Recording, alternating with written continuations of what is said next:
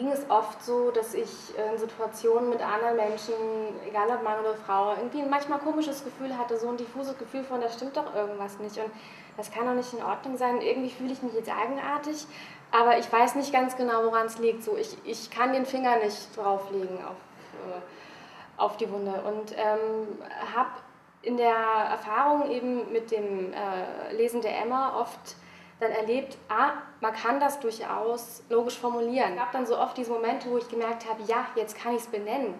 Jetzt kann ich mit dem Finger auf das Problem zeigen, auf das, wo ich irgendwie sage, hey, da stimmt was nicht. Deswegen fühle ich mich unwohl. Einfach, ähm, das war für mich vor allem zu Anfang eine Hilfe, ähm, die Situation, in der ich mich befinde als Mensch, als Frau zu analysieren und das auch, auch mal auf den Punkt zu bringen.